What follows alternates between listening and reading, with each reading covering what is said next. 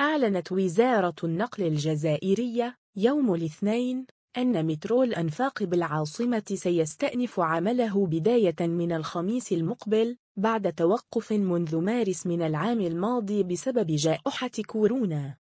وقالت الوزارة في بيان إنه بداية من الخميس المقبل ستكون انطلاقة المترو مجددا في تمام السادسة صباحا بالتوقيت المحلي.